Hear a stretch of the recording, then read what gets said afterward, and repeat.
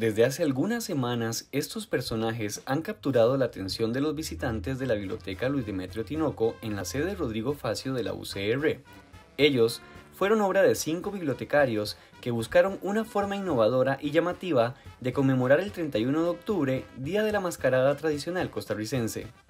La iniciativa surgió de un rescate de las tradiciones. Nosotros como biblioteca eh, queremos ser un centro de educación y de cultura.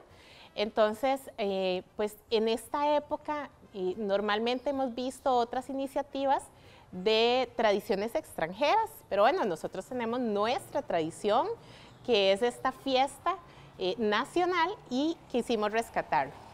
Para llevar a cabo este proyecto, los colaboradores dedicaron parte del tiempo libre en sus hogares para organizarse e investigar distintas técnicas para confeccionar las mascaradas.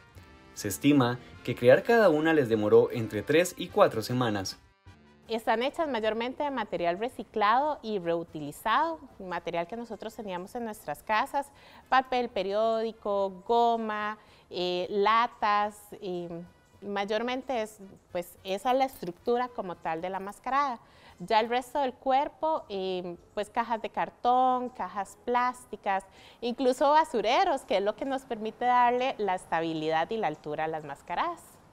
En total, Siete personajes componen esta exhibición, la cual está ubicada en la entrada de la biblioteca y estará disponible hasta mediados del mes de noviembre.